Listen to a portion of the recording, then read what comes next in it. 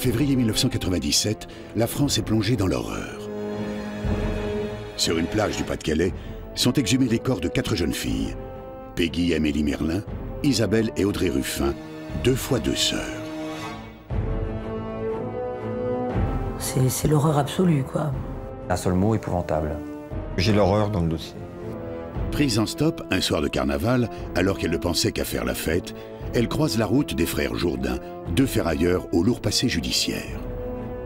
L'enquête révèle qu'avant d'être sauvagement assassinées, les quatre filles ont vécu l'enfer et subi les pires sévices sexuels.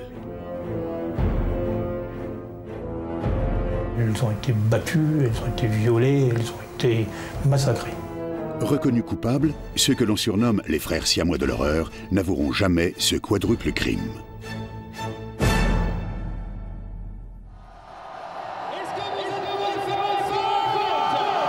Le Portel, le 11 février 1997. Aujourd'hui, c'est Mardi Gras.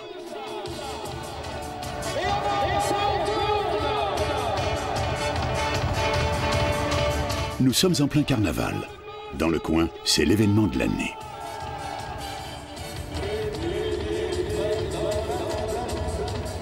Peggy et Amélie Merlin, deux sœurs, ont toujours vécu dans la région. Pour elles, c'est inconcevable de rater ce rendez-vous. Surtout cette année, puisqu'elles y conduisent leurs amies Isabelle et Audrey Ruffin pour la première fois.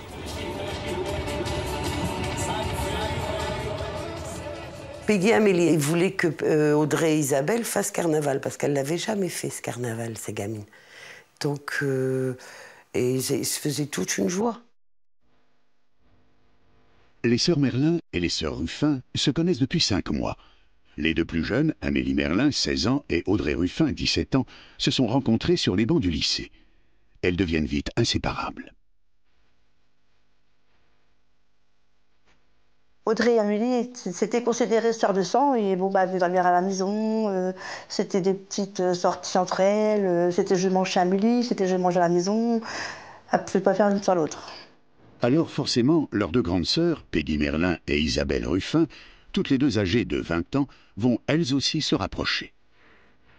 Bon bah Peggy, dans l'eau, bah, elle a fait connaissance d'Isabelle et puis après, bon bah quand des fois quand elle sortait, euh, elles étaient à quatre.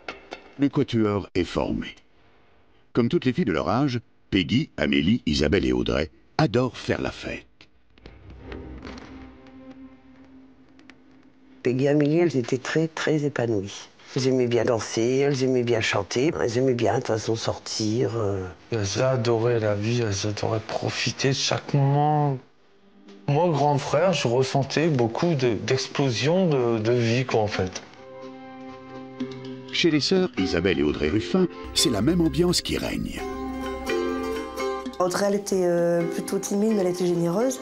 Elle était plutôt collée à ma mère, elle disait facilement je t'aime. Que Isabelle, elle était plutôt je dirais pas extravertie, mais elle aimait bien sourire, rigoler, euh, jusqu'à donner des, grands coups de pied pour danser. Elle était joyeuse, elle, euh, elle, rigolait pour tout, pour tout et pour rien en fait. Alors forcément, ce mardi gras, l'excitation des quatre filles est à son comble. Surtout pour Audrey et Isabelle, pour qui la tradition du carnaval du Portel est une grande première. Virginie, leur sœur, est elle aussi de la partie. Il n'y a qu'à savoir qu'on allait se déguiser, qu'on allait se maquiller, faire un peu les folles dans les rues, comme tout le monde le fait, ben, on était toutes contentes. Les filles passent l'après-midi à se préparer avec minutie. Tout doit être impeccable pour cette grande soirée de carnaval. Il fallait du temps pour s'habiller. Hein, il ne faut rien qui dépasse, même si c'était un déguisement. C'est toute une règle, hein. il faut repasser les vêtements, euh, se maquiller. Puis à 8 heures, je les ai prises en photo avant de partir. Sans le savoir, Marie-Josée Merlin prend la dernière photo de ses filles. Comment imaginer qu'un soir de carnaval puisse virer au drame avant qu'elles partent, bah, comme toute mère, on leur dit faites attention, euh, faites attention à vous, euh, allez pas avec n'importe qui, euh, puis après, bon, amusez-vous bien. C'est sur ces recommandations que Peggy et Amélie partent donc vêtues de leurs costumes de marquise et de Pierrot rejoindre les filles Ruffin. J'ai rigolé quand je les ai dit, c'était la première fois qu'on se voyait toutes déguisées en carnaval, aussi bien maquillées, euh, maquillées déguisées pour le carnaval. Pour cette grande occasion, les sœurs de Virginie ont mis un point d'honneur à choisir leur déguisement. Audrey porte un costume de mousquetaire. Isabelle est déguisée en indienne. Enfin réunies, les filles Merlin et les filles Ruffin sont prêtes pour commencer la soirée. Avant de partir, Madame Lamotte, la mère adoptive des sœurs Ruffin, les met elle aussi en garde. Ma mère a dit, euh, surtout quand, euh, quand, on a franchi la porte pour partir au carnaval, nous a dit surtout vous restez bien groupés, vous faites surtout bien attention à vous. Il est 20h30. Les quatre jeunes filles et Virginie quittent leur domicile à pied pour rejoindre la place du Portel où se déroule le bal. Dix minutes les séparent du début des festivités. Mais déjà sur le trajet, l'ambiance est joyeuse.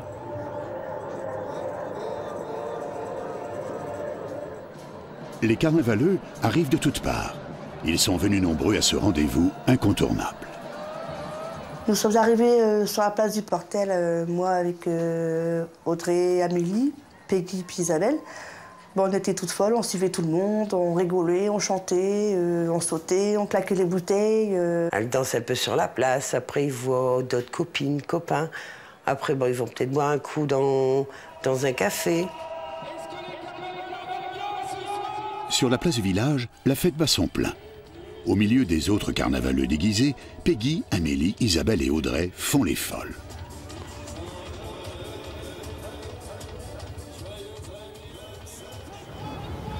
Rien ne peut gâcher cet événement, pas même le froid et la pluie qui se sont invités ce soir-là. Il est 23h30. Tous les carnavaleux descendent sur la plage du Portel pour assister à la tradition du brûlé.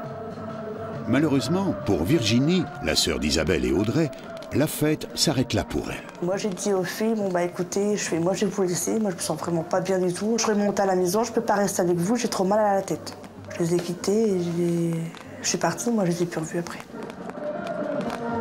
Il en faut plus pour décourager les quatre jeunes filles. Le brûlé c'est le clou du spectacle. Dans un immense bûcher, on y jette Baptiste, un mannequin de chiffon. Et c'est bien ça que Peggy et Amélie veulent absolument faire découvrir à Audrey et Isabelle.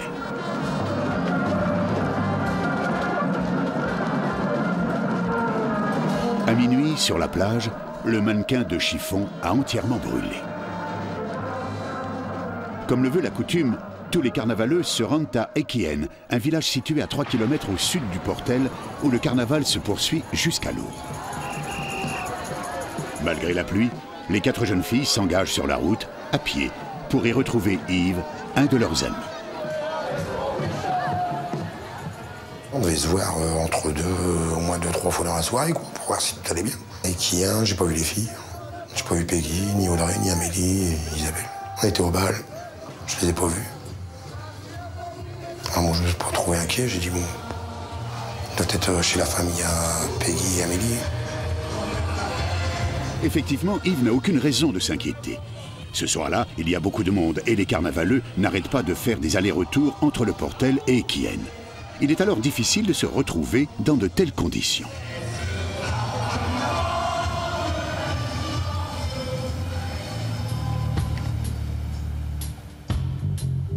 À 7 h du matin le lendemain, le carnaval est fini. Comme tous les ans, Marie-Josée Merlin rejoint ses filles Peggy et Amélie sur la place d'Equienne, histoire de prendre le petit déjeuner ensemble et d'entendre le récit de leur soirée.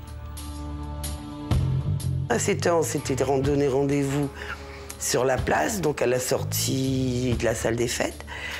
Et puis à partir de là, bon, moi j'avais été chercher les petits pains. Je vais chercher un peu après, après les quatre, hein, après Isabelle, Amélie, Peggy, Audrey. Je les attendais dehors, donc je me suis dit, bah, elles vont me voir, elles vont arriver. Mais on voit personne arriver.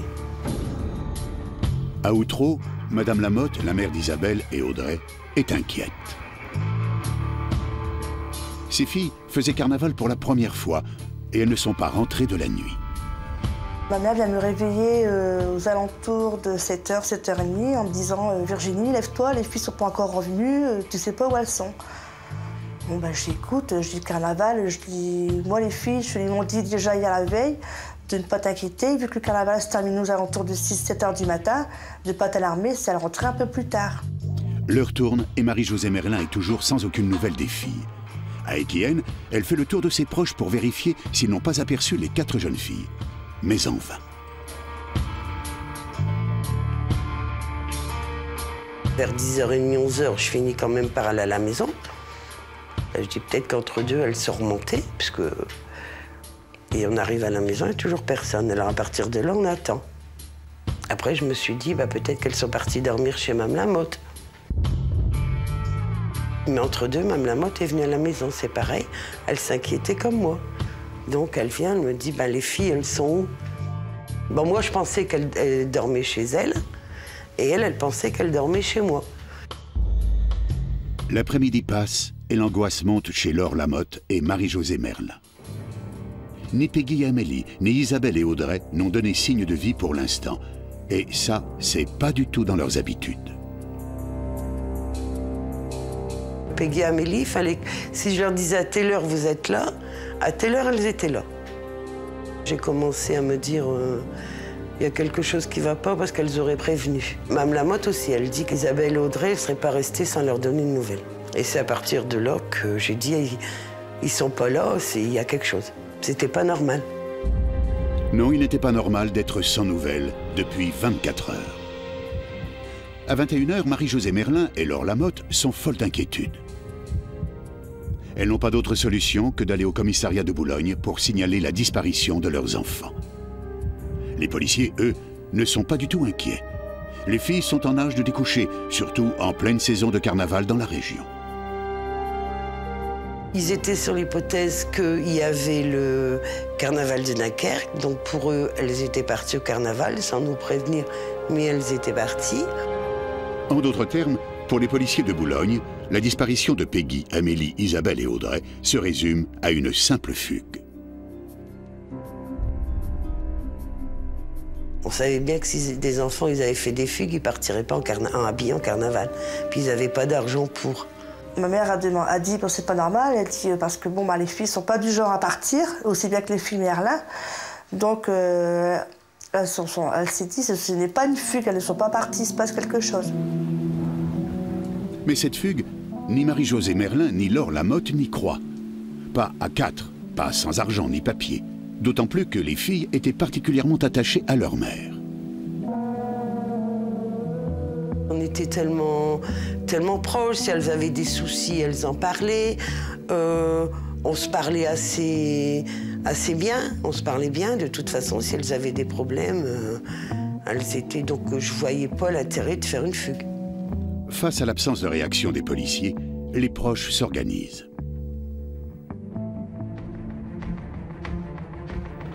Dès le jeudi 13 février, les familles, les amis confectionnent des affiches et les placardent dans tout le patelin, dans l'espoir de recueillir le moindre indice concernant la disparition des jeunes filles.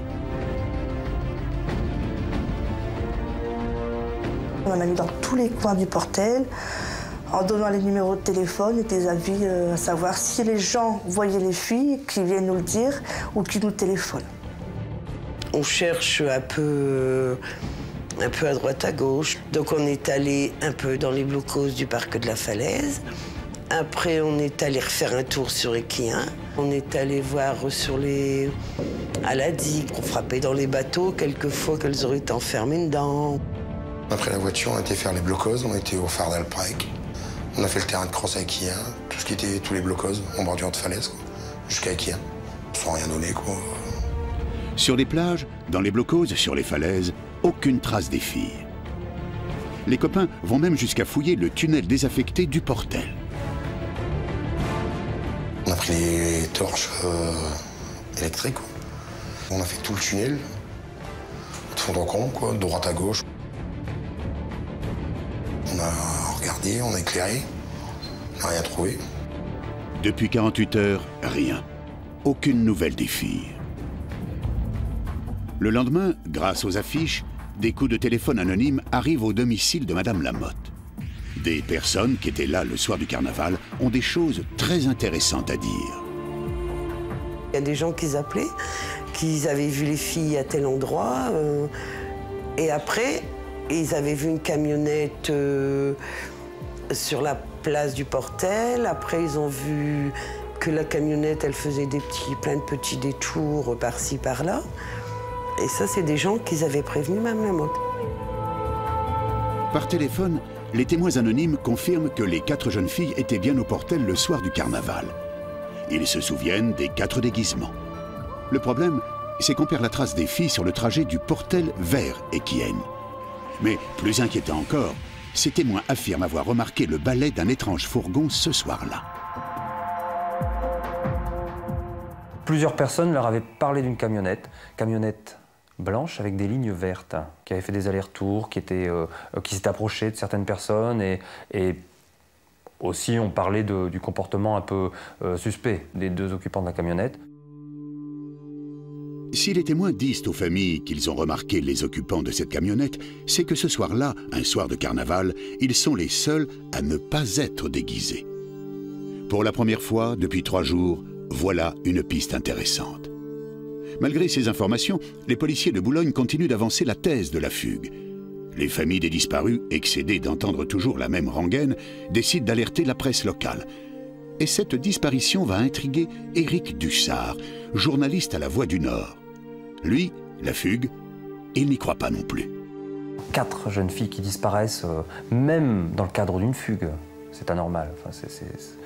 C'est extrêmement rare. Si c'est pas une fugue, euh, si c'est pas le départ un peu inconséquent de quatre jeunes filles qui cherchent à s'amuser, qui oublient de prévenir, euh, ça aussi on l'écarte assez rapidement. Donc si c'est si pas une fugue, si c'est pas ça non plus, euh, euh, bah, il reste que des hypothèses inquiétantes. Dimanche 16 février, un premier article paraît dans La Voix du Nord. Dans cet article, le journaliste parle de la disparition des filles, des cinq jours de recherches infructueuses des familles, mais raconte surtout l'étrange manège de la camionnette blanche à bande verte. C'est la première fois qu'on évoque la piste de l'enlèvement. Alors forcément, la presse nationale s'empare de l'affaire. Dès le dimanche soir, euh, les premiers journalistes de radio arrivent. Et, et le lundi, euh, le lundi, euh, il y a des journalistes quasiment de la France entière. Depuis mercredi dernier, Peggy, Amélie, Isabelle et Audrey restent introuvables. Leurs amis ont fait circuler des avis de recherche dans la ville. Ils ont eux aussi tenté de retrouver leurs traces. Depuis cinq jours, le téléphone n'arrête pas de sonner au domicile de Madame Lamotte. Oui Des messages de soutien et quelques pistes encore trop floues. Les parents ne croient toujours pas à l'hypothèse de la fugue. Face à la pression médiatique, le procureur de la République est bien obligé d'admettre que l'hypothèse de la fugue ne peut être la seule piste envisagée. Dès le lundi 17 février, soit six jours après la disparition des filles, le CRPJ de Lille est saisi. L'enquêteur Bourrin débarque avec ses collègues et reprend l'enquête à zéro.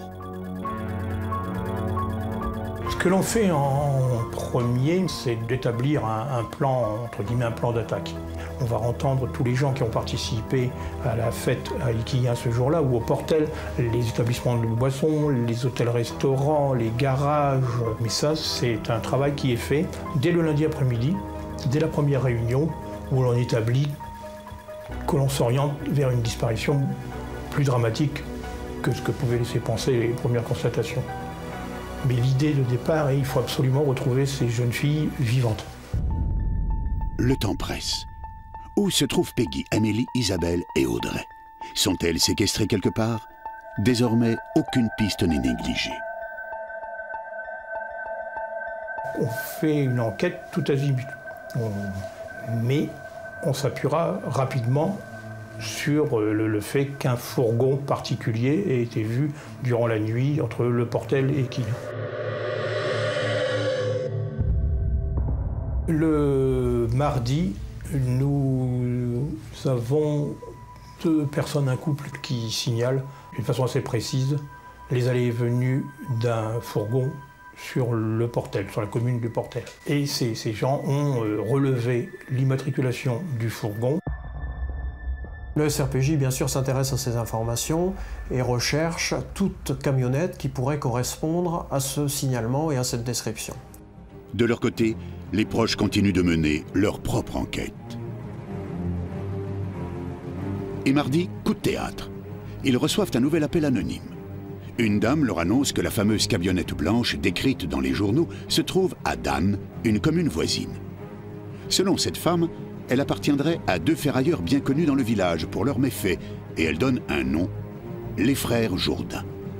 Il faut faire vite car, d'après ce témoin, les propriétaires du fourgon seraient en train de dissimuler les bandes vertes. Yves, l'ami de la famille, s'y rend immédiatement. On a décidé d'aller voir la maison des Jourdains. On a fait le tour de la maison du terrain. Les frères Jourdain étaient en train de peindre le camion en gris au rouleau. C'est pas normal. J'ai appelé le SRPJ. Le SRPJ est arrivé aux mêmes conclusions. Grâce à l'immatriculation de la camionnette donnée par des témoins, la police a déjà identifié la famille Jourdain et plus particulièrement deux frères, Jean-Louis et Jean-Michel.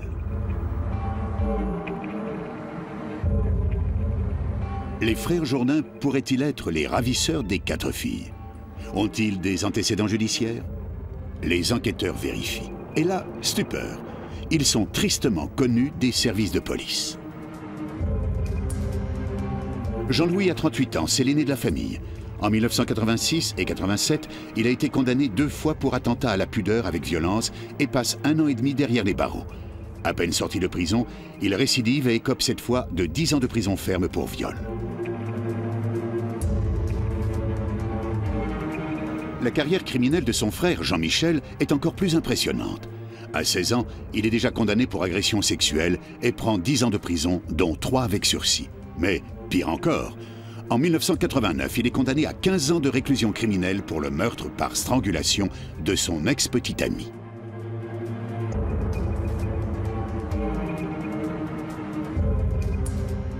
Donc très rapidement, on considère qu'il est nécessaire d'agir au niveau euh, de ces personnes qui deviennent euh, potentiellement très suspects. Si les jeunes filles sont tombées entre leurs mains, le pire est à craindre. Il n'en faut pas plus aux policiers. Ils doivent les interroger. Le mercredi, une semaine après la disparition des filles, les policiers mettent en place un dispositif d'envergure pour interpeller les frères Jourdain. Et si ce sont eux qui détiennent les filles, la moindre erreur pourrait être fatale. Tous les enquêteurs se disent qu'il ne faut pas rater cette opération, euh, que la clé, la solution de cette affaire se trouve peut-être euh, là. Jeudi 20 février, 6 h du matin. Deux équipes de police s'apprêtent à agir simultanément. La première, à Étaples, au domicile de Jean-Louis et Jean-Michel Jourdain, les principaux suspects. L'autre équipe intervient au domicile du reste de la famille, à Dame, là où a été aperçue la camionnette repeinte. Lors de l'intervention à Étaples, les frères Jean-Michel et Jean-Louis euh, se laissent interpeller de façon tout à fait normale, sans aucune résistance. Euh, ils sont, disent-ils, tout à fait surpris de l'intervention des services de police, ne savent pas pourquoi nous sommes là et ne demandent bien sûr qu'à s'expliquer sur, euh, les questions qui peuvent leur être posées. À Étaples, au domicile des deux frères, aucune trace des quatre disparus du Portel. L'enquêteur Beaurin s'occupe de l'interpellation du reste de la famille Jourdain à Dame. À peine arrivé dans la maison, c'est la consternation. En ouvrant la porte, la première chose, c'est l'odeur. Vous rentrez dans une, maison qui, qui sent la pourriture, les, immondices, vous avez des, étrons, des animaux, vous avez un petit garçon, euh, un jeune gamin qui, vit à moitié nu euh, au milieu d'un berger allemand qui mange même la gamelle du chien. Euh, c'est une vision apocalyptique. Dans cette maison aux allures de décharge, Serait-il possible que Peggy, Amélie, Isabelle et Audrey soient séquestrées? La première euh, impression, c'est qu'elles ne sont pas là. Quand on voit le, le Capharnaüm, on se dit, elles sont on ne peut pas enfermer quatre jeunes filles dans cette maison. Par contre, le jardin, lui, est plus préoccupant. On sent confusément que l'on a creusé, que l'on a enfoui certaines choses. Et on passera une partie de la journée à creuser pour vérifier s'il n'y a pas dans ce jardin des, personnes euh, enterrées. Parce que la, confusion, elle, est extrême. On se doute que l'on a tapé au bon endroit, mais on ne comprend pas du tout où les filles peuvent être. Dans le jardin de cette famille de ferrailleurs, les policiers mettent la main sur le fourgon. À première vue, la camionnette a effectivement été repeinte. Mais ce qui inquiète le plus les enquêteurs, c'est que l'intérieur a été entièrement nettoyé et modifié. Que cherchent à dissimuler les frères Jourdain? C'est naturellement ce que veulent savoir les policiers. C'est une course contre la montre qui s'engage pour les enquêteurs. La garde à vue des suspects ne dure que 48 heures et il y a urgence à les faire parler. Car pour l'instant, la police a des soupçons mais n'a aucune preuve matérielle contre les Jourdains. La première déclaration des frères Jourdain est simple et éloquente. Nous sommes au courant de la disparition des filles, mais nous n'avons rien à voir dans cette histoire pour la bonne et simple raison que nous n'étions pas au portel. La garde à vue est difficile parce que les deux frères n'ont pas envie de parler. Et les policiers, tout en sentant qu'ils en savent beaucoup sur la disparition des quatre jeunes filles, n'arrivent pas à les faire parler. Pour les faire parler, les enquêteurs les mettent face à leurs mensonges. Des témoins les ont vus le soir du carnaval au Portel. Jean-Louis et Jean-Michel consentent à avouer avoir effectué un bref passage, mais jurent qu'ils n'ont jamais croisé les jeunes filles. Bref, l'enquête n'avance pas. Le vendredi matin, au bout de 30 heures de garde à vue, le temps presse. Si les policiers n'obtiennent pas d'aveu concernant les quatre disparus, ils devront relâcher les Jourdains. Alors les policiers vont changer de méthode. Jean-Louis paraît être le plus fragile des deux frères. Avec lui, l'enquêteur Bourrin va s'y prendre différemment. Il va jouer sur la corde sensible. Je me souviens à ce moment-là que Jean-Louis Jourdain avait une petite sœur et que cette sœur est disparue et qu'il était très proche de cette petite sœur. Tout en discutant avec lui, je vais mettre sur le bureau les photos des quatre disparus.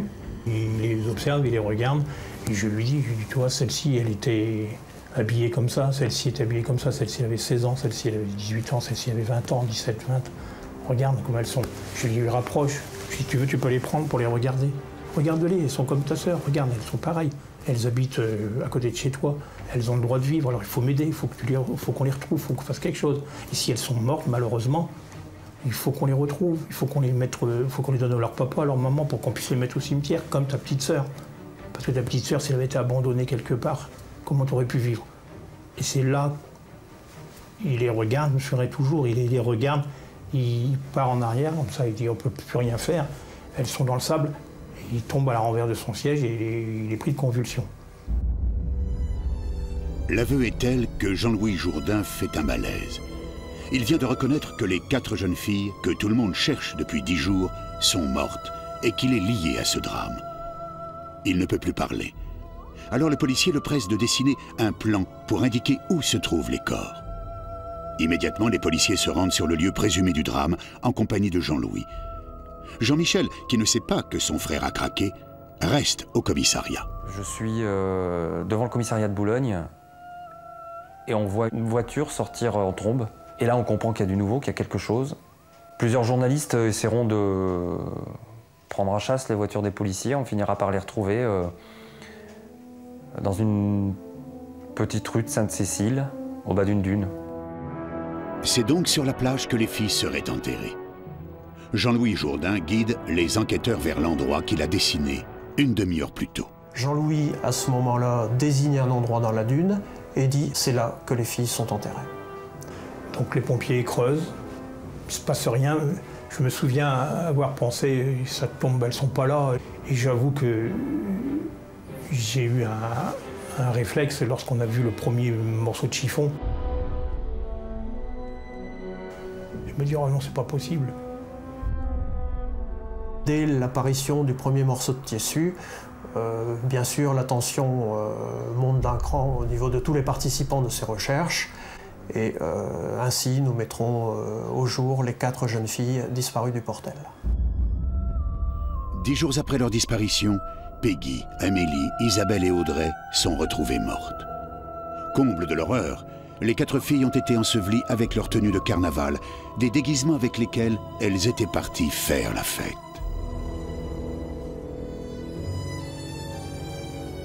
De l'autre côté de la dune, les journalistes, toujours dans l'attente, sont loin de se douter de la macabre découverte.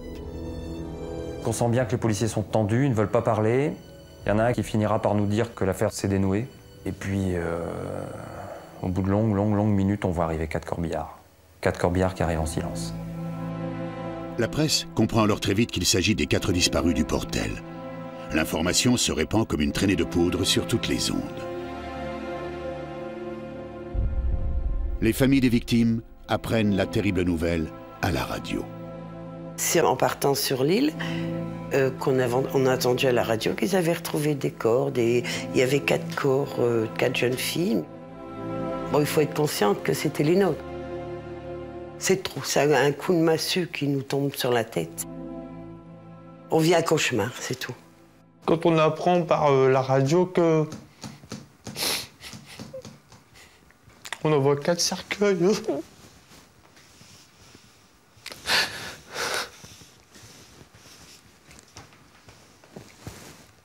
quatre cercueils.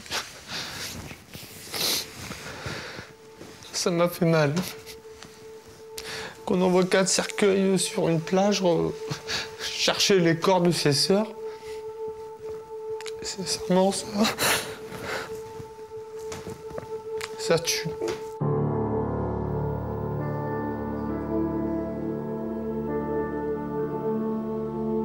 Suite à cette abominable découverte, Jean-Michel et Jean-Louis Jourdain sont mis en examen.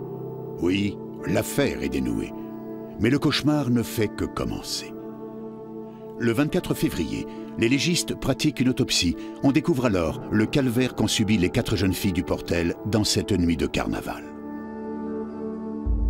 Elles ont été véritablement euh, massacrées. Ce n'est pas un crime euh, froid. Elles ont été battues, elles ont été violées, elles ont été massacrées. Le rapport d'autopsie est terrible. Il révèle un crescendo de violence de la part des auteurs de ces crimes. Isabelle, la première victime, a été battue à mort. Peggy, la deuxième, a été violée, puis étranglée. Mais, détail sordide, elle a été enterrée vivante. Des grains de sable seront retrouvés dans l'œsophage, ce qui semble signifier qu'elle a euh, encore respiré alors qu'elle était euh, ensevelie.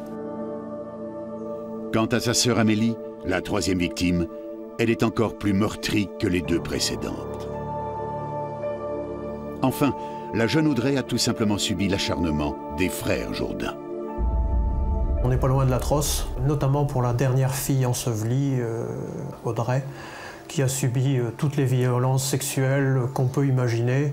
On a très clairement l'impression qu'ils ont, je vais utiliser un terme atroce, mais qu'ils ont joué avec la dernière fille ensevelie, euh, Ruffin-Audrey.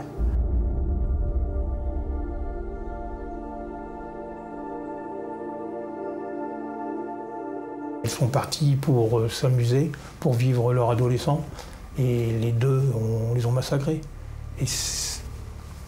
Vous vous posez des questions sur la nature humaine à ce moment-là. Beaucoup de gens se demandent si on a affaire à des hommes ou, ou si leur comportement n'a pas été plus bestial. Pour qu'on les ait retrouvés dans cet état-là, il s'est forcément passé quelque chose de pas très humain. Cette violence inhumaine subie par les quatre jeunes filles, Éric Dussard et tous les journalistes la décrivent avec horreur. Une vive émotion s'empare alors de la région. Des marches silencieuses sont organisées. La colère monte. Il faut, faut, plus que ça arrive, ce truc-là. C'est horrible. Horrible de voir ça. Ce que les frères Jourdain ont fait, c'est pas. On ne peut pas décrire ce qu'ils ont fait.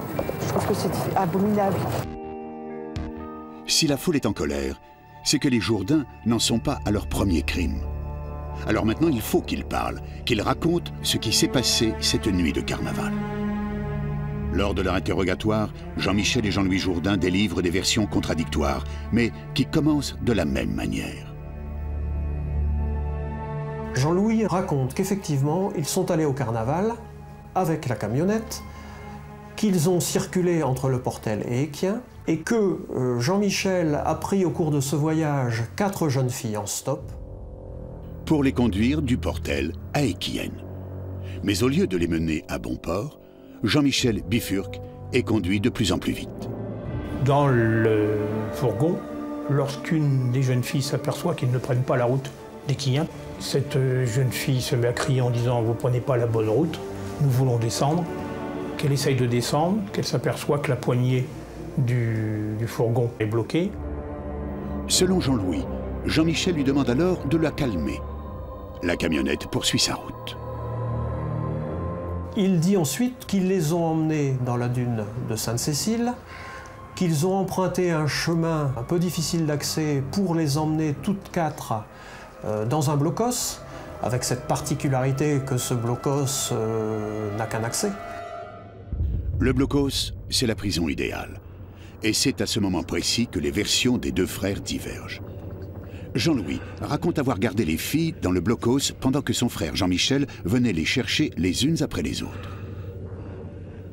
Quand Jean-Michel vient chercher la dernière, Jean-Louis les suit jusqu'au sommet de la dune où il voit les trois filles inertes étendues sur le sol.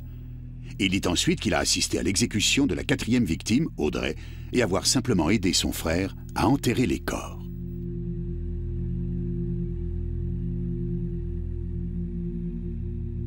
Il nie toujours avoir euh, violé et tué ses filles.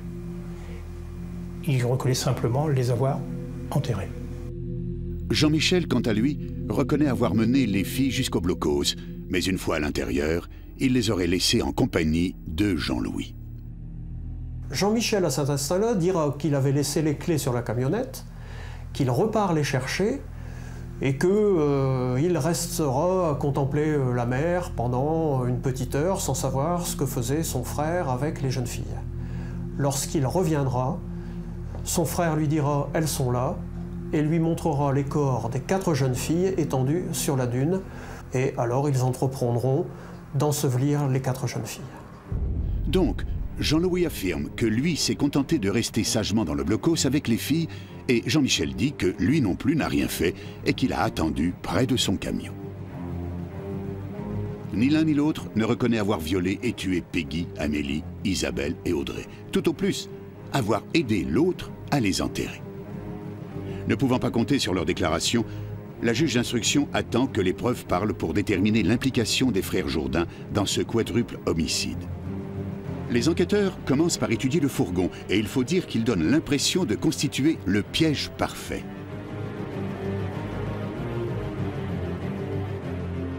Lors de l'expertise de cette camionnette, la serrure de la porte arrière était défaillante et ne pouvait être ouverte que de l'extérieur. Un autre élément, euh, c'est euh, de constater qu'il n'y a pas de traces, paradoxalement, bien que de nombreuses personnes aient fréquenté ce fourgon. Et la raison en est simple, c'est que l'intérieur de la fourgonnette a été lavé à grandes eaux par l'un ou l'autre euh, des frères Jourdain pour faire disparaître toute trace ou indice permettant de rapprocher leur action de la disparition des filles. Pourtant, en y regardant de plus près, les experts trouvent un morceau de boucle d'oreille dans les interstices du fourgon. Selon l'autopsie, la boucle d'oreille appartient à Audrey et lui a été arrachée. Preuve que les filles ont reçu des coups violents dans la camionnette. Le problème, c'est qu'en dehors du bijou, la police ne retrouve aucune trace ADN des frères ni des quatre jeunes filles dans le fourgon. Certes, les Jourdains l'ont bien nettoyé, mais de toute manière, en 1997, la police ne disposait pas des moyens actuels pour analyser l'ADN. Les preuves matérielles impliquant les frères Jourdain sont donc très minces. Jean-Michel saute alors sur l'occasion pour se rétracter et nier tout en bloc.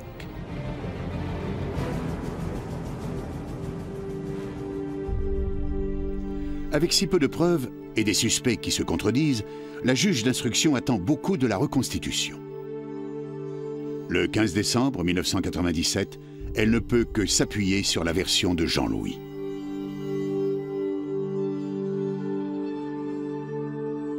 Jean-Michel, lui, ayant beaucoup varié dans ses déclarations, refusera euh, de participer euh, délibérément à cette reconstitution. Il aura une attitude euh, distante, les mains dans les poches et le regard fuyant. il sera très peu coopératif dans cet exercice. Lors de cette reconstitution, c'est donc Jean-Louis Jourdain qui montre aux enquêteurs le chemin qu'il aurait emprunté avec son frère et les quatre victimes pour atteindre le blocos. L'itinéraire est recouvert de rochers.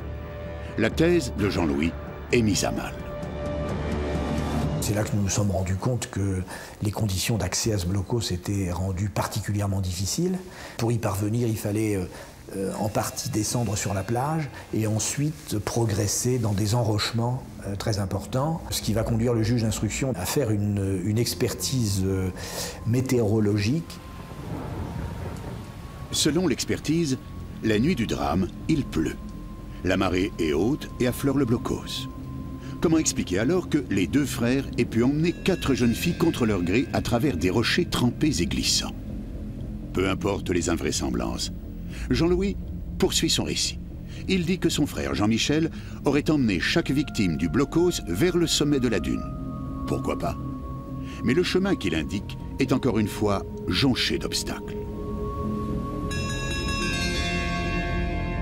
Ce chemin est malaisé, qu'il y a des barbelés. On ne découvre aucun morceau de tissu sur ces barbelés, alors que les jeunes filles, en passant euh, contre leur gré à cet endroit-là, auraient automatiquement laissé des, des traces. Étrange. D'autant plus que l'analyse minutieuse des costumes des quatre jeunes filles ne révèle aucun accroc ni aucune déchirure. Ce qui va, euh, à mon sens en tout cas, euh, mettre définitivement à mal euh, la version de Jean-Louis. Et pourtant, malgré toutes ces incohérences, la juge d'instruction va jusqu'au bout de la version de Jean-Louis Jourdain. Une fois en haut de la dune, elle demande aux policiers de s'étendre sur le sol comme les quatre victimes. Face à un tel réalisme, pour Jean-Louis, c'est le choc. Dans un accès euh, et un excès d'émotion, d'émotivité, euh, Jean-Louis Jourdain s'est effondré. euh, il est euh, tombé en syncope euh, à la vue des quatre filles euh, étalées sur le sable.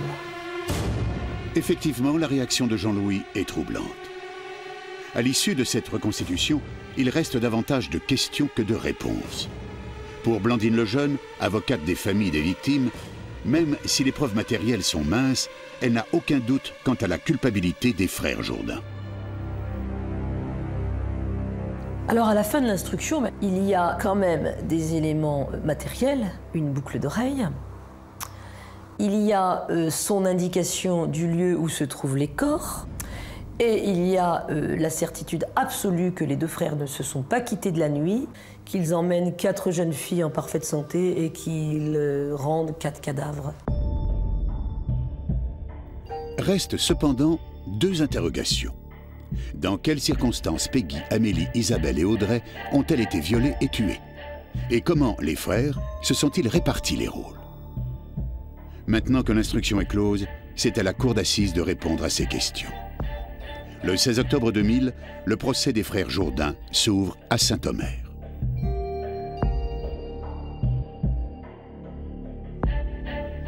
Toute la région se presse devant le palais de justice pour assister au jugement des monstres du portel. Marie-Josée Merlin et Laure Lamotte, les deux mamans, espèrent enfin connaître la vérité. Mais avant cela, elles vont devoir affronter les frères Jourdain pour la première fois. L'arrivée de Jean-Michel et Jean-Louis Jourdain euh, dans la salle d'audience, dans le box, euh, elle est stupéfiante parce que c'est pas deux types qui arrivent euh, tête baissée, repentant. Euh, Jean-Michel, plante son regard dans, dans les yeux des gens qui sont assis au premier rang, donc ceux des de maman. Quand ils sont arrivés, bon déjà ils nous ont fixés. Ils n'ont même pas baissé les yeux au départ. Et après on a du mal à les regarder vraiment. Puis de savoir qu'ils ont touché, touché aux quatre filles, c'est... Ils ont mis leurs mains dessus, c'est encore pire. Moi, c'est les seules pensées quand je les ai vus. Ils s'asseyent, il n'y a pas un bruit, et puis euh, ils disent rien. Ils sont assis l'un à côté de l'autre. On les sent liés tous les deux, Jean-Michel et Jean-Louis. Et c'est d'ailleurs, euh, un moment, je me souviens, je les qualifie de, de siamois de l'horreur.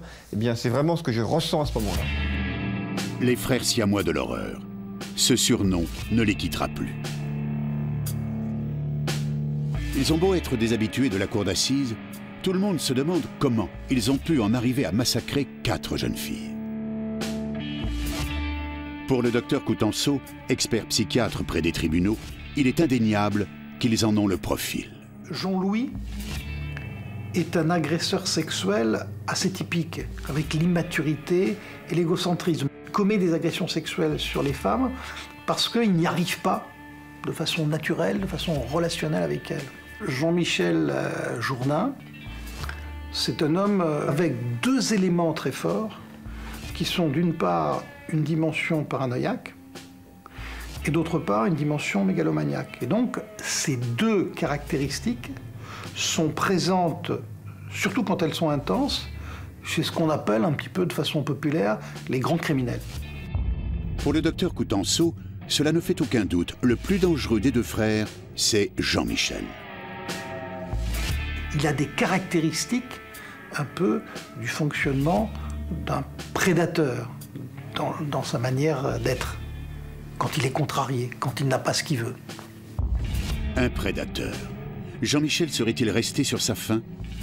On apprend au procès que, quelques jours avant le carnaval, les deux frères cherchaient déjà des proies. Ils ont failli enlever une jeune femme à Berck-sur-Mer. Il était 19h. Euh, c'est le soir, elle téléphone, elle est dans une cabine téléphonique et heureusement, elle a un de ses amis qui est à une cabine à 50 mètres plus loin. Elle voit une camionnette avec deux bandes vertes et une porte rouge qui ralentit alors qu'elle est en train de téléphoner, qu'elle est toute seule, avec un type qui regarde par euh, la porte ouverte et qui ralentit euh, près d'elle. La porte coulisse et Jean-Louis ouvre la porte parce qu'il est prêt à sortir et à faire monter de force dans ce fourgon. Et heureusement, son ami arrive à ce moment-là. Jean-Louis le voit, il referme le fourgon. Le fourgon euh, redémarre en trombe. Et ça, c'était un jour ou deux avant le, le carnaval. Donc, on, a- on avait l'impression qu'ils avaient acheté cette camionnette pour enlever des filles et pour les violer. C'était euh, l'arme du crime. En fait, les Jourdains, c'est- ce sont deux chasseurs. Ce sont des chasseurs de, de- de jeunes filles ce soir-là. Ces chasseurs auraient-ils prémédité leur crime? C'est ce que la Cour tente de savoir, mais en vain. Jean-Louis ne cesse de répéter qu'il n'a rien fait, ni violé, ni tué. Quant à Jean-Michel, c'est simple. Il ne dit rien. Il y a un moment dans le procès, euh, on se rend compte que les positions restent figées. Je m'aperçois que ni Jean-Louis ni Jean-Michel, en fait, ne vont euh, nous donner des détails euh, différents. Ils sont murés dans leurs explications, dans leurs dépositions. Donc je me dis qu'il faut qu'on provoque un électrochoc. Car l'avocat général n'a qu'une seule crainte. Voir les jurés condamner uniquement Jean-Michel en s'appuyant sur les déclarations de Jean-Louis et sur son rôle passif dans cette affaire. Et Jean-Louis joue cette carte-là. Et c'est en ce sens que c'est un fou malin. Il se présente comme quelqu'un qui est sous la coupe de l'autre. Et comme je ne souhaite pas qu'une thèse comme celle-là, évidemment, qui correspond à rien du dossier, puisse prospérer, donc je demande à la Cour eh un transport sur les lieux. Un transport de justice sur les lieux du crime, c'est extrêmement rare. Mais là, c'est indispensable. Le 25 octobre 2000, c'est toute la cour de Saint-Omer qui se déplace sur la plage de Sainte-Cécile pour reconstituer une nouvelle fois le scénario du crime. Une épreuve pour Marie-Josée Merlin et Laure Lamotte, qui viennent pour la première fois à l'endroit où Peggy, Amélie, Isabelle et Audrey ont perdu la vie. Il faut vraiment avoir le courage pour venir jusqu'ici, je vous le garantis. On n'avait pas encore trouvé la force de venir. C'est ce que j'étais en train de dire à Mme Lamotte. On voulait venir, mais tout compte fait, heureusement qu'on n'est pas venu qu'à deux, parce que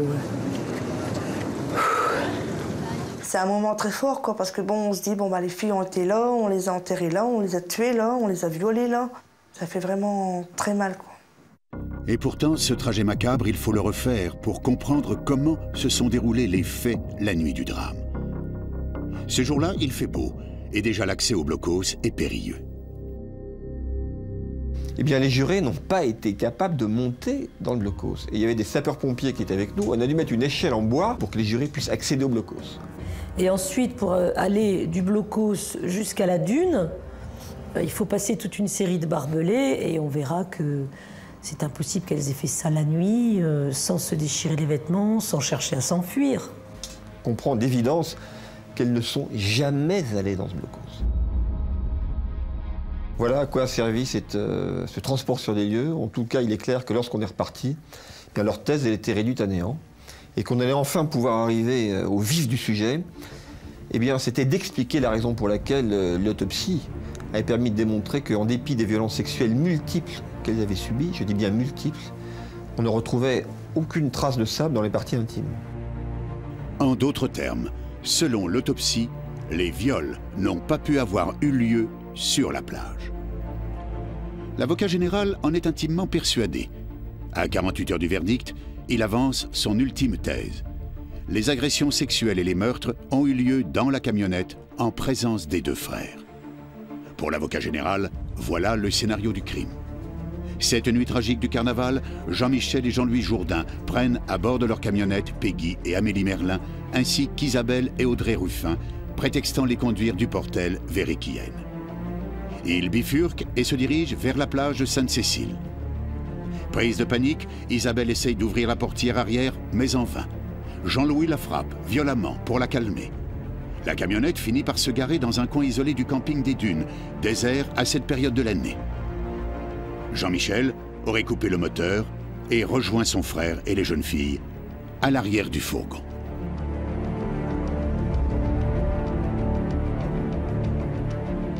C'est là que ces jeunes femmes vont être, violées, vont être, vont être tuées dans ces conditions épouvantables.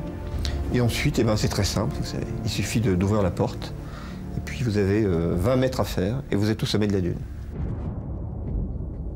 C'est la thèse qui concilie absolument euh, le bon sens, le fait qu'elle n'aurait jamais suivi les Jourdains dans cette équipée euh, complètement folle, qu'elle ne pouvait pas accéder au blocos, que leurs vêtements sont retrouvés euh, sans aucune trace de déchirure, qu'on a remis chaque bouton de ces vêtements, qu'on retrouve aucune trace de sable à l'intérieur des parties intimes. Donc ça se passe forcément à un endroit où il n'y a pas de sable, et c'est dans le fourgon.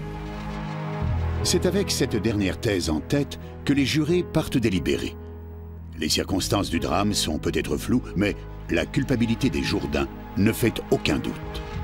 Ça ne peut être que, puisque seuls les gens qui avaient enterré ces quatre filles pouvaient les retrouver.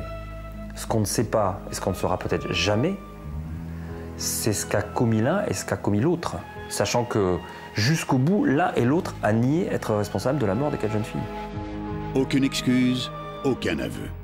Les Jourdains n'ont même pas eu la décence de dire la vérité pour apaiser les douleurs des familles. J'ai vu Guy Georges finir par, euh, par avouer ses crimes et donner des explications. J'ai vu Patrice Allègre, autrement, donner des explications aussi. J'ai vu Dutroux, j'ai vu Fourniret. Et les Jourdains, pas un mot. Le 27 octobre 2000, le verdict tombe, et il est sans surprise. Les frères Jourdain sont condamnés à la peine maximale par la cour d'assises de Saint-Omer. La perpétuité, assortie d'une peine de sûreté de 22 ans pour Jean-Michel et de 20 ans pour Jean-Louis. Une petite différence due au simple fait que, sans les aveux de Jean-Louis, on chercherait encore Peggy, Amélie, Isabelle et Audrey. Ça ne me ramènera pas mes filles, mais au moins on sait qu'il y en a deux qui ne feront plus de mal à personne. Au moins de ce côté-là, on est soulagé. Ça a tellement encore ravivé tellement de souvenirs que pour l'instant, on est sous le choc, ni plus ni moins qu'il y a trois ans et demi.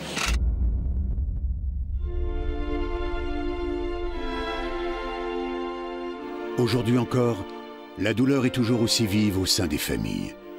Chaque année, le 12 février, Marie-Josée Merlin et son fils Grégory viennent se recueillir sur la plage du drame.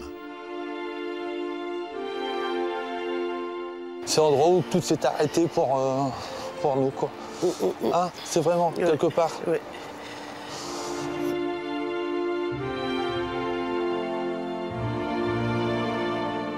D'être ici, là, ça, ça, m'arrache un peu le cœur. À l'heure d'aujourd'hui, je devrais être un grand frère heureux. Je serais tonton.